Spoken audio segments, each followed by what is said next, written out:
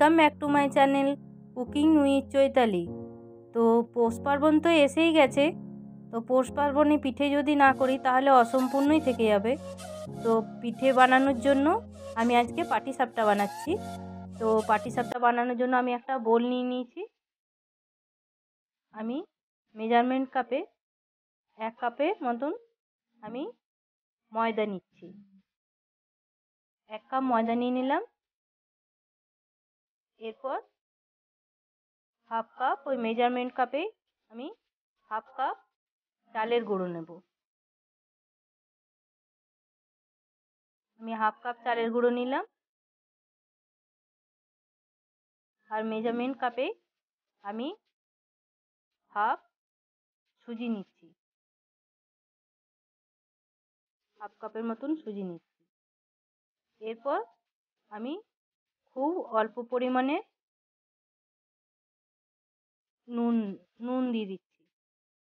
খুব অল্প পরিমাণ নুন না দিলেও হবে। আমি একটু নুন দিলাম। এরপর আমি একটা বলে গুড়টাকে জলে গুলে রেখেছিলাম, জল দিয়ে। জলটা গরম না, স্বাভাবিক। জলের মধ্যে আমি গুড়টাকে গুলে রেখেছিলাম। এরপর একটা ব্যাটার তৈরি করব। আমি একবারে জলটা দেব না, অল্প অল্প করে জলটা দিয়ে একটা ব্যাটার তৈরি করছি।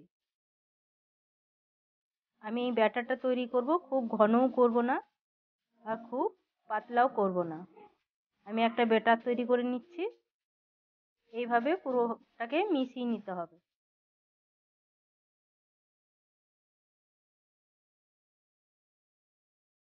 এইভাবে ভালো করে মিশিয়ে নিতে হবে।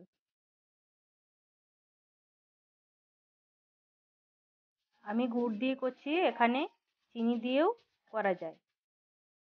চিনির গুঁড়ো দিয়েও করা যায়। আমি গুড় দিয়ে করছি দেখুন, ব্যাটারটা তৈরি হয়ে গেছে। এরপর আমি এটাকে একটা ঢাকা দিয়ে আমি এক ঘণ্টা রেখে দেবো। এক ঘণ্টা হয়ে গেছে। আমি এক ঘণ্টা পর ঢাকাটা খুলে দিলাম। দেখুন এই সুজিটা আর চালের গুঁড়োটা একটু ফেপে গেছে। এরপর আমি একটা ছোট বাটিতে কিছুটা চকলেটের গুঁড়ো নিচ্ছি। খুব অল্প পরিমাণে চক, দু চামচের মতন চকলেটের গুঁড়ো নিলাম এবং ব্যাটারটার থেকে আমি একটু চকলেটের গুঁড়োটার সঙ্গে মিশিয়ে একটা আলাদা ব্যাটার তৈরি করছি। এভাবে পুরোটা মিশিয়ে নিতে হবে।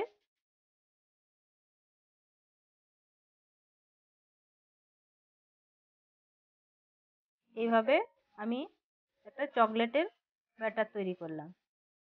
এরপর আমি প্যান নিয়ে নিয়েছি। প্যান গরম হয়ে গেছে। প্যানের মধ্যে হালকা আমি তেল দিয়ে ব্রাশ করে নিলাম। এরপর আমি যে চকলেটের ব্যাটারটা নিয়েছি, চকলেটের ব্যাটারটা দিয়ে আমি একটা আলপনা তৈরি করছি। সেটা আপনারা যে কোনো ফুল বা জিগজ্যাগ যে কোনো কিছু করতে পারেন, আমি একটা আলপনা তৈরি করে নিলাম। এর উপরে আমি চালের গুঁড়োর ব্যাটারটাকে দিয়ে দিলাম। এভাবে পুরোটাকে আমি ঢেকে দিলাম। হালকা করে ঘুরিয়ে আমি একটা গোল শেপ দিলাম।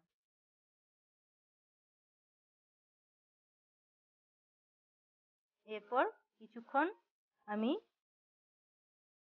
সেদ্ধ হতে দিলাম ব্যাটারটাকে। বেশিক্ষণ সেদ্ধ হতে দিলে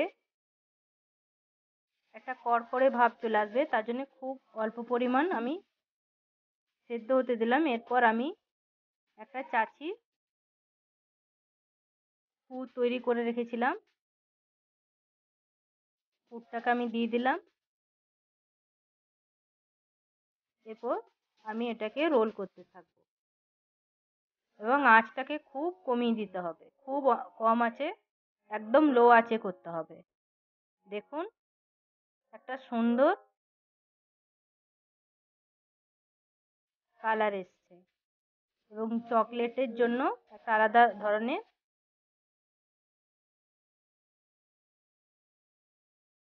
আলাদা রকম ভাব এসছে। এবং দেখুন, এটা একটা আলাদা ধরনের পাটিসাপটা আমি বানিয়েছি।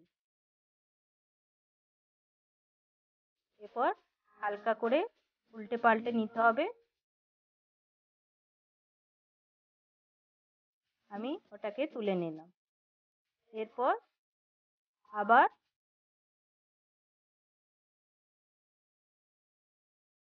আমি তেল ব্রাশ করে নিলাম। এইভাবে আমি একটা একটা করে পাটিসাপটাগুলোকে বানিয়ে নেব। এইভাবে আমি একটা একটা করে পাটিসাপটাগুলোকে বানিয়ে নিচ্ছি।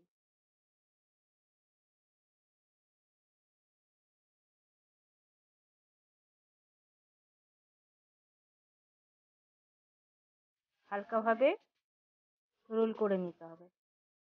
এইভাবে আমি প্রত্যেকটা পাটিসাপটা এইভাবে আমি বানিয়ে নিচ্ছি। আপনারা, আমি যেভাবে বানালাম, বাড়িতে বানিয়ে আমাকে কমেন্টে জানাবেন। ভালো লাগলে আমাকে কমেন্টে জানাবেন।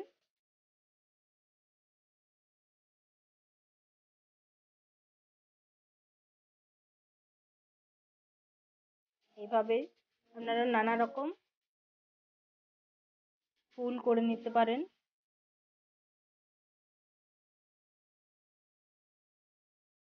এভাবে।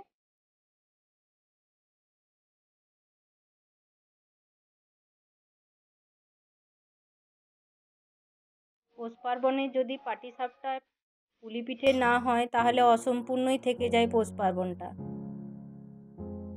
তো আপনারাও বাড়িতে বানাবেন। পাটিসাপটা এবং বাড়ি, বাড়িতে বানিয়ে আমাকে অতি অবশ্যই কমেন্টে জানাবেন।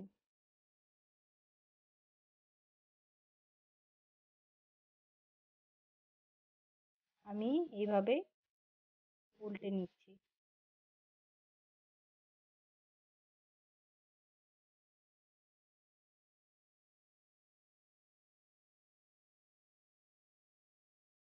আমার পাটিসাপটা কমপ্লিট হয়ে গেছে। দেখুন।